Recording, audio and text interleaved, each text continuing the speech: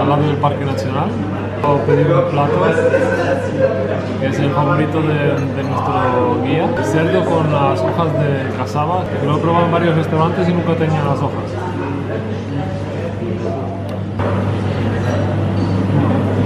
Con un poquito de arroz también. Entiendo por qué le gusta tanto al, a nuestro guía. Es un plato muy, muy contundente, la verdad. Me parece un sabor muy, muy curioso. Es como de mm, sabor de espinaca, pero fuerte. Y el cerdo está muy bien hecho. A mí me ha convencido, la verdad. Al principio no, no, no lo tenía tan claro, pero como él siempre va el plato, como tienes que probar, tienes que probar, a mí me ha gustado mucho. Bueno chicos, acabamos de llegar al, al hotel. Mirad qué preciosidad de cama. Me flipan estas mosquiteras. Qué gustito se va a estar aquí hoy, esta noche. Oh. Bueno chicos, ya acabamos de cenar, estamos en la habitación, ya habéis visto que está muy bonita. Es, es, una de las mejores habitaciones donde hemos estado en Madagascar, es muy limpio. Sí, la, la mejor. La mejor La sin mejor. duda, más acogedora y aparte tiene esto de las mosquiteras y tal que hace, no sé, le dan un toque, Y aparte se agradece. se agradece bastante por los mosquitos que hay. Y nada, mañana tenemos dos parques nacionales más. Andasibe, eh, Parque Nacional y Reserva Natural eh, Privada, que, que es una pequeña isla llena de lemurs y tiene que estar chulo. Sí, pues nos duchamos y ahora a dormir, que mañana tenemos dos excursiones bastante intensas y hay que reponer fuerzas. Bueno chicos, hasta mañana. Hasta mañana.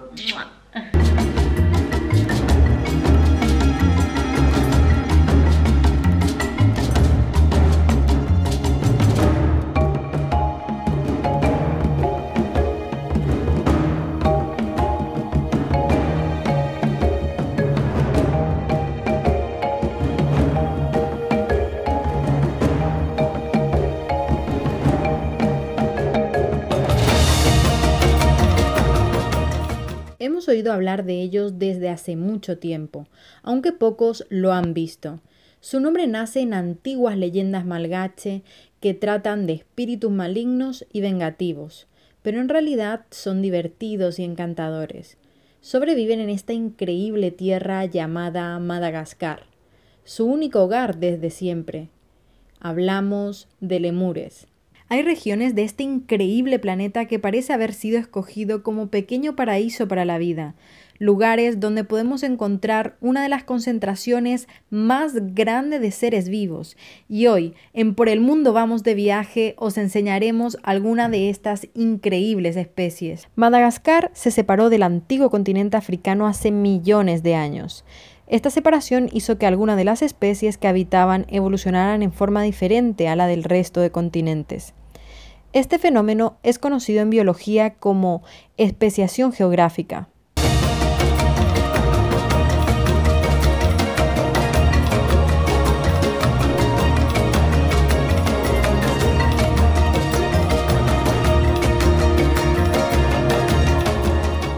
Los antepasados de estos primates sobrevivieron a los cambios y amenazas que este lugar les tenía preparados, unos auténticos héroes que llegaron a nuestro tiempo con las más imaginativas leyendas. Aquí, entre los bosques de plantas suculentas, árboles espinosos, hojas de bambú y árboles de tamarindo, viven los lemures.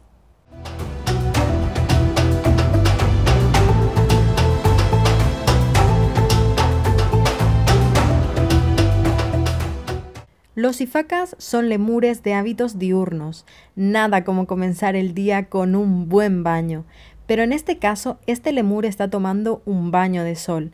Las noches en este clima pueden llegar a ser muy frías. Por ello, durante las noches permanecen unidos uno junto a otro para conservar el calor, pero cuando sale el sol aprovechan los rayos del sol para calentarse. Los lemures exponen al sol su zona ventral, ya que en esta área el pelaje es menor y por lo tanto el calor es más eficaz. A veces cierran los ojos y disfrutan plenamente del sol.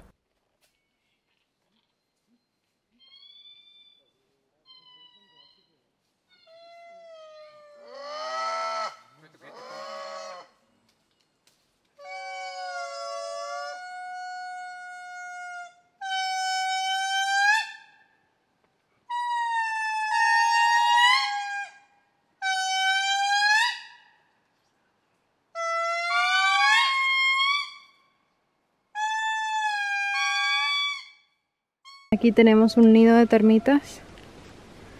Mirad qué grande es. Y ahí detrás escuchamos cómo están cantando los lemurs. Aquí detrás mío tenemos una especie que es conocida como vacuna. Los aldeanos, las tribus de esta zona solían hacer artesanías em, típicas de esta región para los turistas, pero ya desde hace un tiempo atrás se ha declarado como patrimonio de Madagascar y es una especie protegida.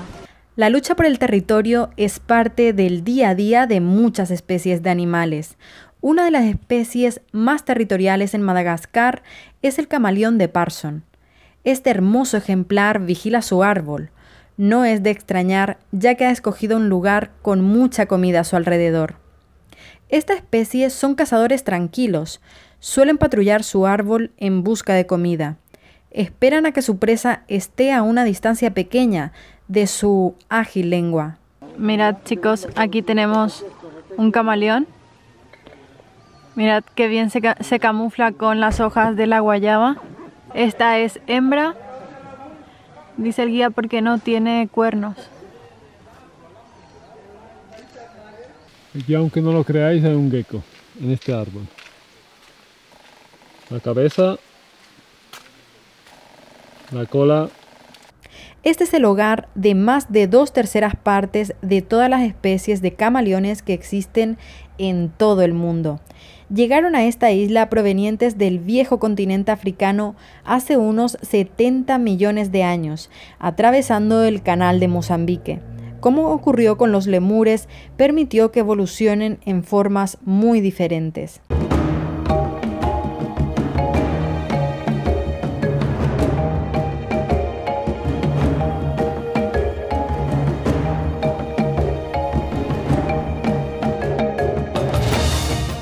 Impresionante es esto, chicos.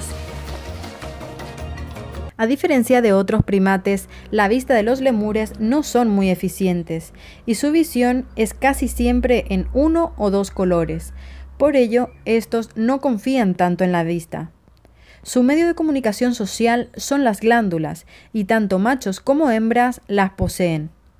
Frotando sus glándulas en ramas y troncos dejan unas marcas químicas que solo ellos pueden entender. La vida social de los lemures transcurre entre olores. En su hocico tienen un órgano que transcurre como una segunda nariz. Es el rinario. Esta es la parte del hocico sin pelo alrededor de los orificios de la nariz. Siempre está húmedo, pues funciona detectando las moléculas químicas disueltas en este líquido.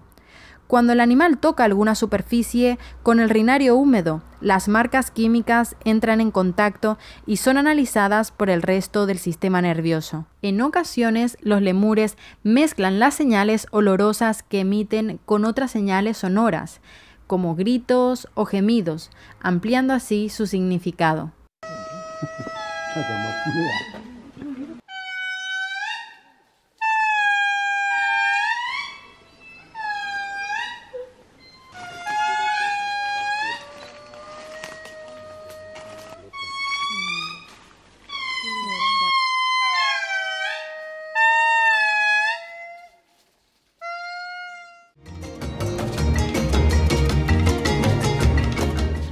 Antiguamente los viajeros bebían agua de aquí tras una larga caminata.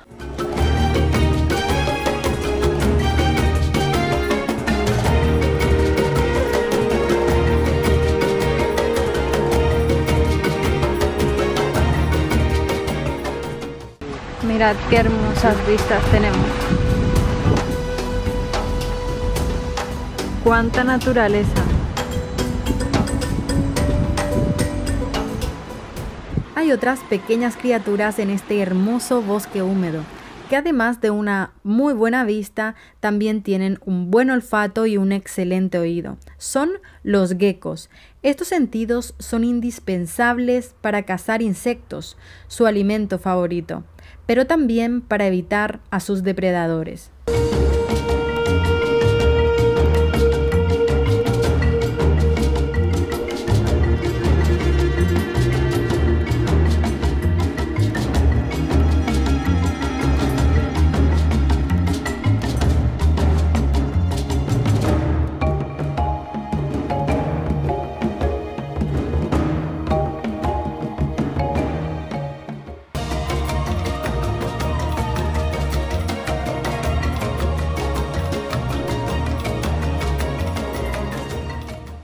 Detrás mío tenemos una planta que aquí es conocida como nido de pájaro, ya que los pájaros anidan aquí arriba. Como podéis ver es como una palmera y es bastante densa por dentro. Los lemures también dominan los entornos más complicados, sitios donde las personas no podemos ni siquiera caminar. Al noroeste de Madagascar hay un lugar donde la propia cultura malgache ha bautizado con el nombre de Tsingi, que significa el lugar donde el hombre no puede caminar descalzo. Un verdadero laberinto de paredes de cuchillo.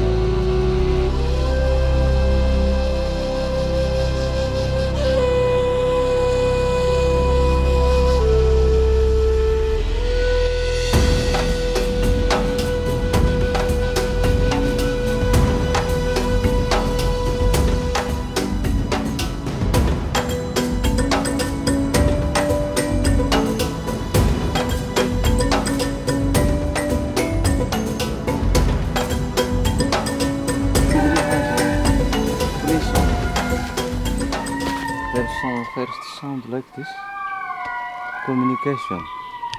After communication, alarm sound. Or predator sound. Like this. And the number three, the third ones, love sound. They're in the mating season. Yeah. Funny. Because the mating season is fixed. Only November and December. Room. And Oh. in the natural place. This is sad. Yes. Sick and died. This is happy. Yeah. Oh, most of lemurs, most of species of lemurs in Madagascar, once in the captivity in the zoo, Yeah. the only in the never seen because it's sad and he died. Of course. Mm. Bendito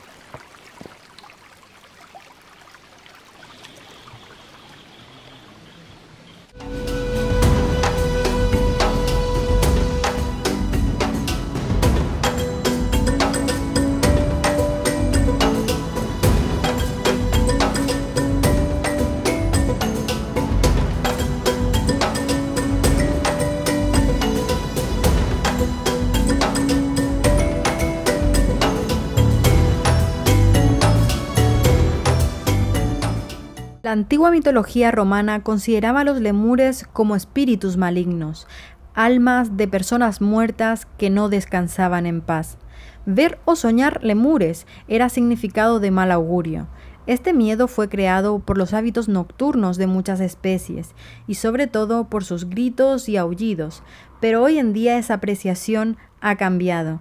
Estas bellas criaturas guardan algunos de los secretos más valiosos sobre la evolución de las especies y el comportamiento animal. Qué ruido más extraño hace.